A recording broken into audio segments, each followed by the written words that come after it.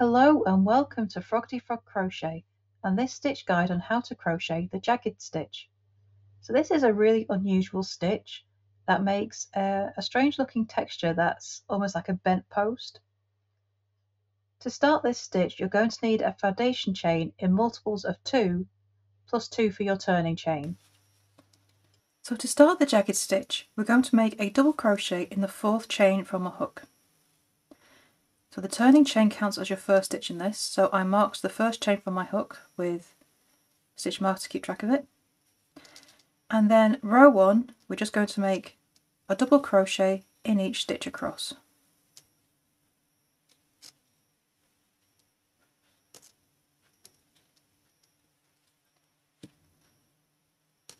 So this allows us to set up ready to make our jagged stitches in the next row.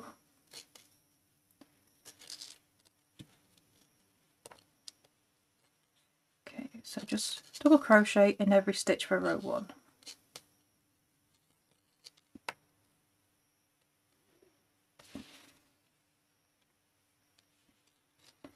And last one. Okay, and that's row one. So then we turn and chain one. So we're going to make a double crochet turning chain in our first stitch.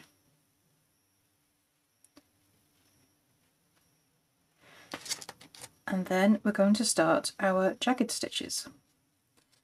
So your jagged stitches are made over two stitches. So to start, yarn over. Around the post of the next stitch, insert your hook and pull up a loop. Yarn over, pull through the first two loops. Leave two loops on your hook. Now we're going to insert a hook into the top loops of the next stitch. So this is the second stitch we're working over going to yarn over and pull up a loop. So you've got three loops on your hook.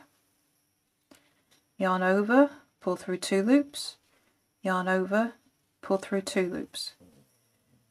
And that is your jagged stitch. So it looks like it's actually made in the row below because it's here. And we start with a straight part and then it just jags out to make it a bit wonky. And that's how a jagged stitch is made then chain one.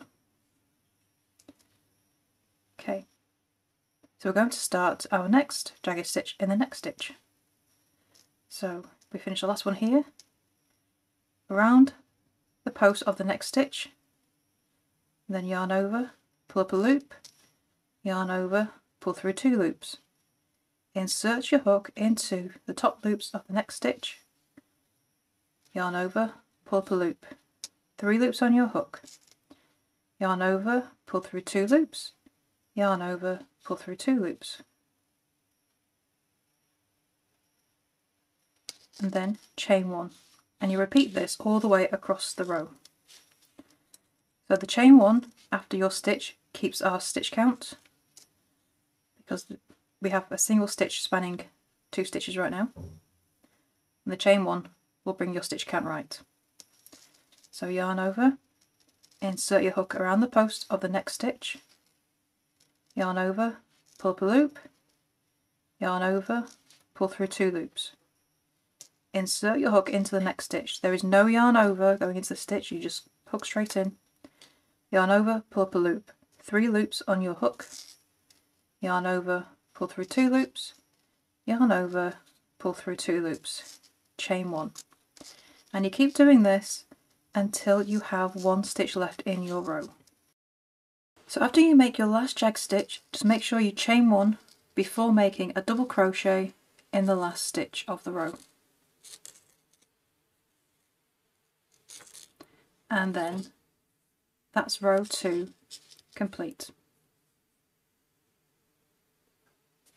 So I'm going to turn, chain one, make a double crochet turning chain in the first stitch.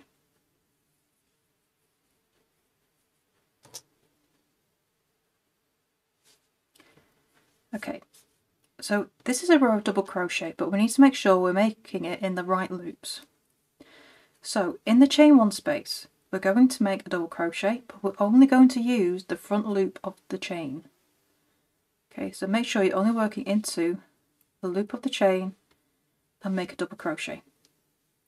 Then the next stitch, make a double crochet in both loops. In the chain space, you're going to be working into the chain itself, but only that front first loop, and make a double crochet. And you repeat this across the row, working through both loops of the next stitch, which will be in your jagged stitch. And the next stitch is a chain one space. You're making a double crochet using the front loop only of the chain.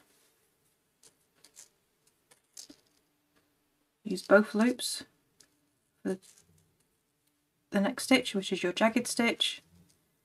Then use the front loop only of the chain of the next stitch and just double crochet all the way across. So last jagged stitch, double crochet. There is no chain one between that last stitch and the jagged stitch. So once you've made that double crochet in the jagged stitch, make a double crochet in the last stitch of the row. And that's row three. So the rest of the jagged stitch is a repeat of rows two and three. And there is your stitch guide on how to crochet the jagged stitch. I would love to see what you create with this unusual stitch. Please do come and show us in our Facebook group Froggity Frogs Ribbit and Stitch. You can find the link beneath this video. And don't forget to subscribe to this channel as well for more crochet stitches, crochet patterns and crochet hints and tips as well. So thank you for watching and I shall see you next time in the next video. Bye for now.